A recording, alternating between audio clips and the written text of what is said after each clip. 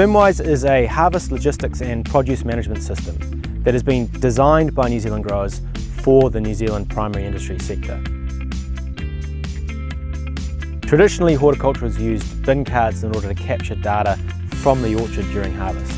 What we're doing is using RFID cards, portal technology and mobile applications in order to capture a wealth of data from the source and transfer that right throughout the supply chain to the consumers. What we do is permanently affix RFID cards to a bin or crate in order to capture data throughout the entire supply chain.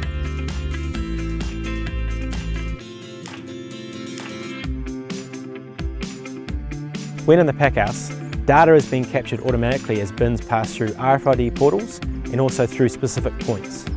When you get out into the field, data is captured through the use of smartphones and mobile applications which will easily capture a wide range of data. BinWise delivers both cost savings and efficiency solutions to an operation, but we can also deliver supply chain management, security of chain, traceability, biosecurity, and importantly, GAP compliance to your business. We are a Kiwi startup born out of the horticultural industry and the Young Grower and Young Horticulturist of the Year competitions.